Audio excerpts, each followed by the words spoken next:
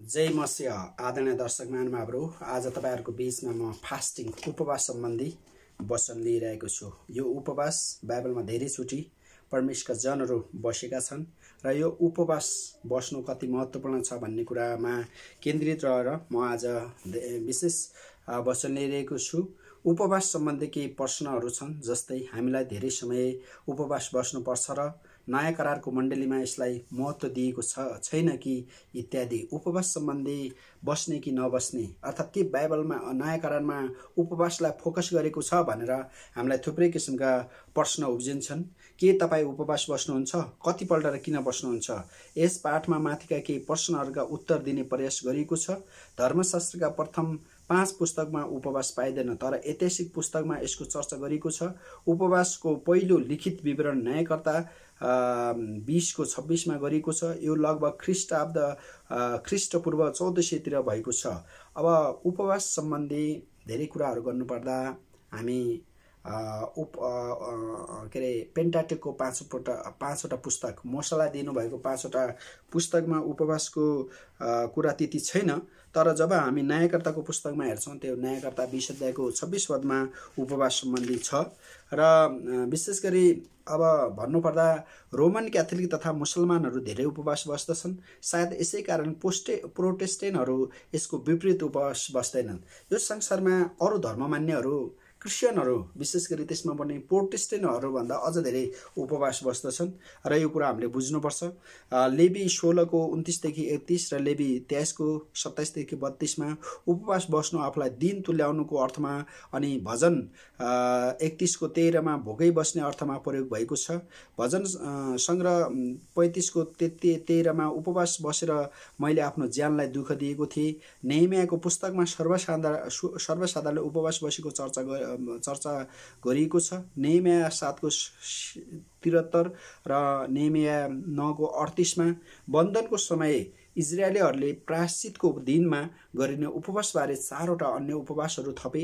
जक्रिया सातको तिनदेखि पाँच र आठको जक्रिया आठको उन्नाइसमा यो उपवास सम्बन्धी धेरै कुराहरू छन् र इजरायलीहरू परमेशका मानिसहरू पनि उपवास बसेका यी उदाहरणहरू हुन् यी खण्डहरू हुन् र एरिसलेमको कब्जा गरेको दिनको सम्झनामा गरिने उपवास चौथो महिनाको सत्रौँ दिन यी इजरायलीले उपवास बस्थे। मन्दिर जलाएको सम्झनामा गरिने उपवास पाँचौँ महिनाको नवौँ दिनमा गदालिया गदालियाको हत्याको सम्झनामा गरिने उपवास सातौँ महिनाको दसौँ दिन। एरिसलेमलाई घेरा घेरामा राखेको सम्झनामा गरिने उपवास दसौँ महिना। नयाँ करारमा फरिसीहरू हप्ताका दुई दिन सोमबार र बिहिबार उपवास बस्थे। नयाँ करारको समयमा पनि फरिसीहरू हप्ताको दुई दिन सोमबार र बिहिबार उपवास बस्थे। र अहिले पनि नेपाली मण्डलीमा कसैले उपवास सोमबार कसैले शुक्रबार कसैले बुधबार कसैले बिहिबार बस्ने गर्छन्। र जे भए पनि परमेश्वरको नजिक पुग्नको लागि उपवास धेरै नै महत्त्वपूर्ण छ प्रियहरू। र र अहिलेका यहुदी पात्र पात्र क्यालेन्डर अनुसार प्रायश्चितको दिनबाहेक अरू बाइसवटा उपवास बस्न सक्दछन्। अब यहुदी पात्र अनुसार पनि यहुदीहरू धेरै उपवास बस्छन् नै र उपवास सम्बन्धी पुरानो करारका नियमहरू एक विद्वानको मतअनुसार यसमा छवटा कुराहरू नै छन् कुनै प्रकारको अन्न नखाने कसै कसैले गेडागुडीहरूसम्म खानुहुन्छ भन्थे र दुईमा परमेश्वरको अघि आफ्नो पाप मानिलिने तेस्रोमा परमेश्वरको दर्शन मुख हेर्ने इच्छा र यसको निमित्त खस्रो लुगा लगाउँथे तर तथा खरानी घस्थे। अनि चारमा आफ्नो तथा अरूहरूको लागि साँचो अर्ज बिन्ती गर्ने पाँचमा गरिबहरूलाई दान दिने छमा आफूले प्रार्थना र प्रतिज्ञा अनुसार जिउने।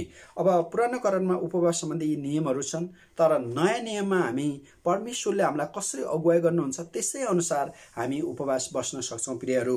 अनि त्यसै गरी पुरानो करार अनुसार उपवास बस्ने कारणहरू छन्। पहिलो कारण हो गहिरो शोक प्रकट गर्न। पहिलो समय एकतिसको तेह्र अनुसार साउलको निम्ति सात दिन उपवास बसे। दोस्रो चाहिँ ईश्वरी रिसदेखि बस्न दोस्रो समेल बाह्रको सो सोह्र र सत्र अनुसार बालकलाई जीवित राख्न उपवास बसे तेस्रोमा तेस्रो कारण छ पुरानो कारणमा उपवास बस्नको पापको निमित्त पश्चाताप र दुःख प्रकट गर्न योना तिनको सात निनिबे सहर अनि भुल किसिमका उपवास। अब कतिपल्ट उपवास के अरे भुल किसिमले पनि बस्ने गर्छन्। र यो कुरा बाइबलले यसरी उल्लेख गर्छ कि राम्रो कुरालाई लिएर त्यसको दुरुपयोग पनि गर्न सक्दछौँ। त्यस कुरालाई बाह्य किसिमका मान्यता वा विधिको दर्जा मात्र प्रदान गरी अर्थहीन बनाउन सक्दछौँ। त्यसप्रति आन्तरिक हृदयको श्रद्धा हुन सक्दैन।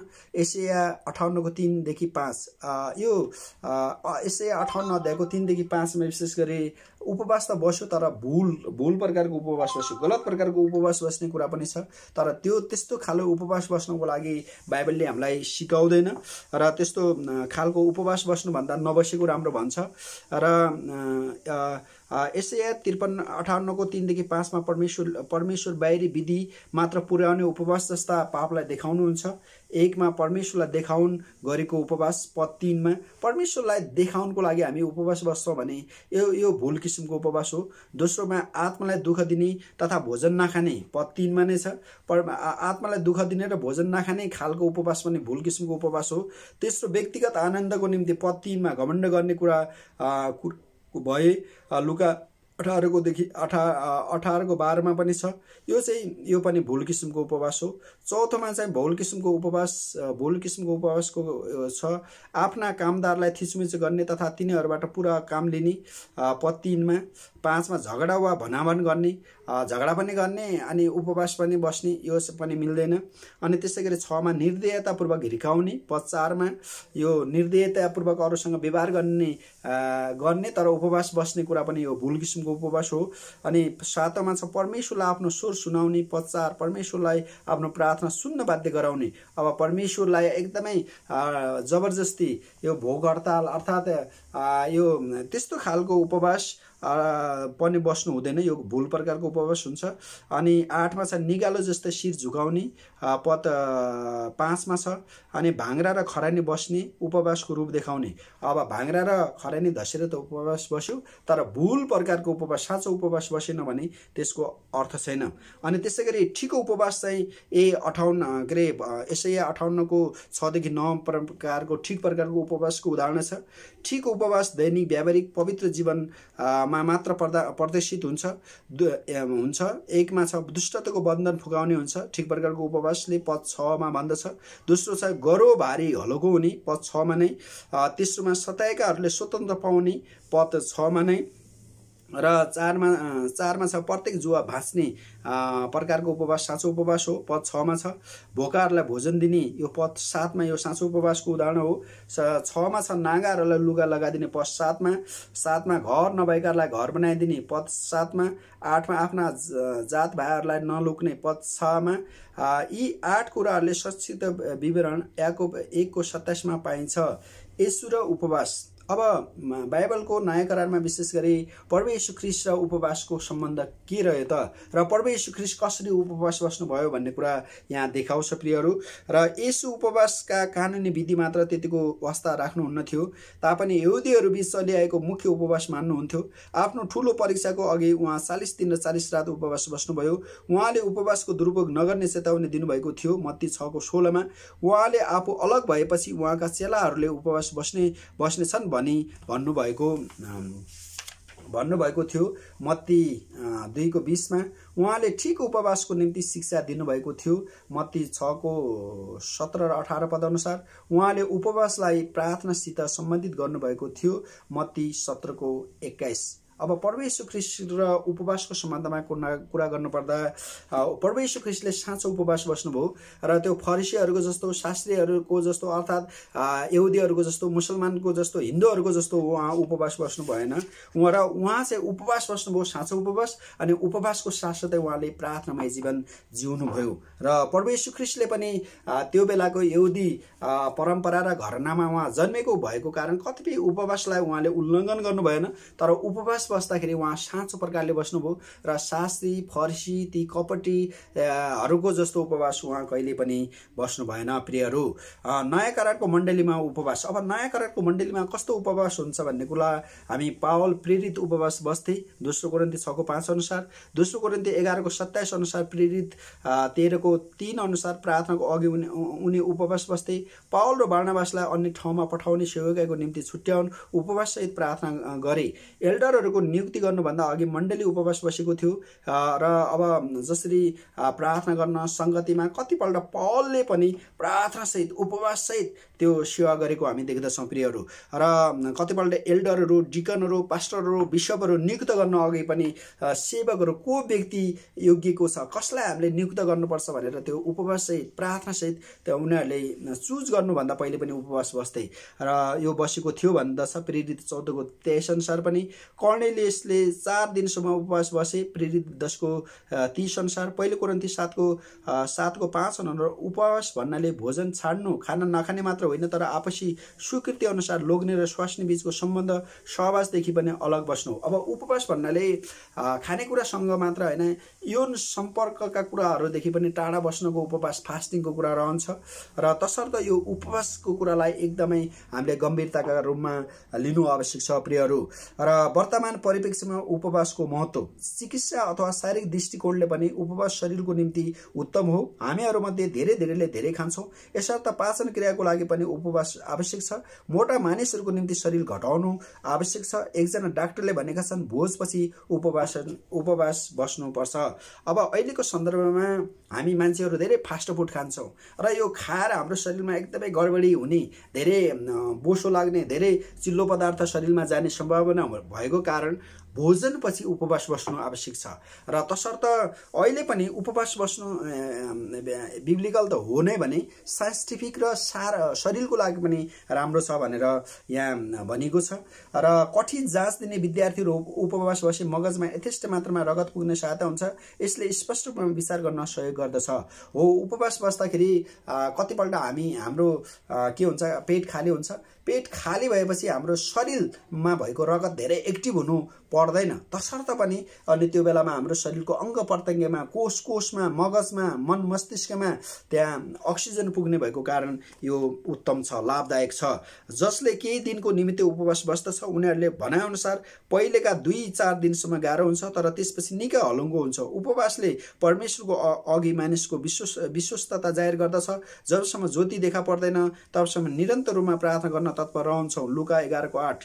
र हामी चाहिँ परमेश्वरको नजिक यो उपवासले लैजाने भएको कारण। कतिपल्ट उपवास नै त्यस्तो माध्यम हुने भएको कारण उपवास बस्नु जरुरी छ प्रियहरू। मत्ती छको सत्र र अठार अनुसार परमेश्वरले डाँडामा दिनुभएको उपदेश अनुसार उपवास गुप्तमा गरिनुपर्दछ देखावटी रूपमा होइन।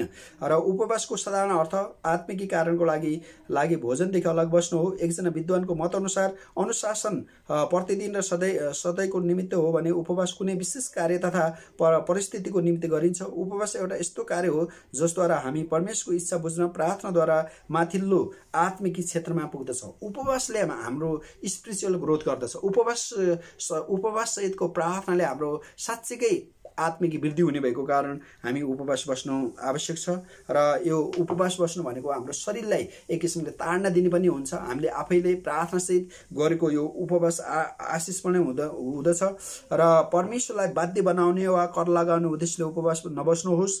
म उपवास बस्छु र त्यसकारण परमेश्वरले मलाई आशिष दिन् अथवा अथवा मलाई अरूको निमित्त आशिष बनाउनु कर लाग्छ भन्ने भावना नराख्नुहोस्। हामीले उपवास बस्यौँ प्रार्थना चढायौँ वा दशंश चढायौँ भन्दैमा परमेश्वरलाई उहाँलाई हामी हाम्रो सेवक बनाउन सक्दैनौँ। प्रत्यक्ष रूपमा आशिष पाउन उपवास बस्नु हुँदैन। आशिष अप्रत्यक्ष र अरू किसिमबाट प्राप्त हुन्छ।